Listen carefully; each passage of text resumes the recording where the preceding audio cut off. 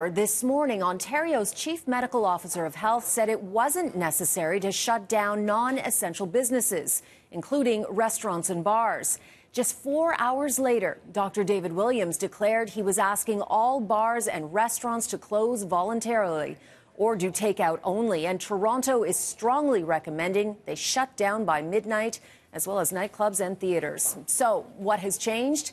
It's now been confirmed COVID 19 is in the community. Officials say there are three cases in Toronto where they don't know the source of infection. Here's the Chief Medical Officer of Health of Ontario on bars and restaurants shutting down. We recommend that they should, except those they could maintain services for takeout and delivery.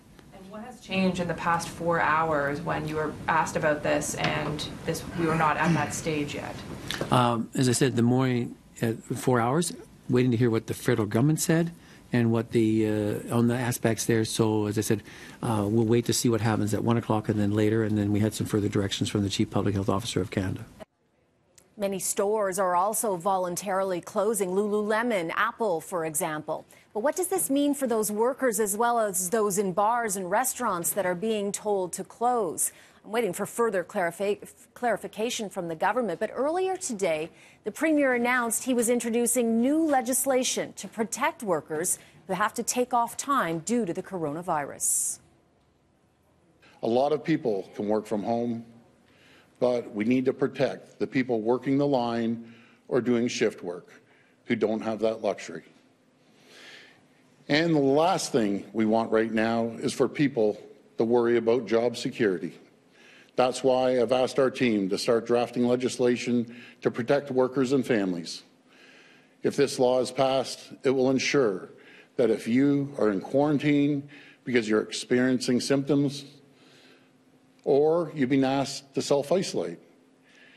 You will not lose your job. If you're a parent and you need to stay home to look after the kids while schools are closed, you will not lose your job.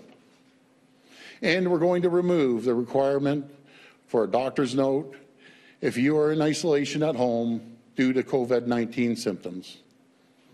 I want to thank the business community who have already taken steps to keep their employees and customers safe.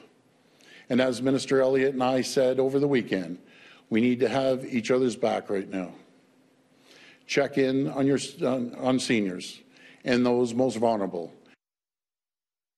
Doug Ford and the team of ministers he had with him this morning was also asked if he thought all non essential business should be closed the way they have been in Italy. Both he and his health minister did not rule that out. And take note, the Premier stressed that the food supply will not be interrupted, and he is asking everyone not to hoard. He says there will be enough food.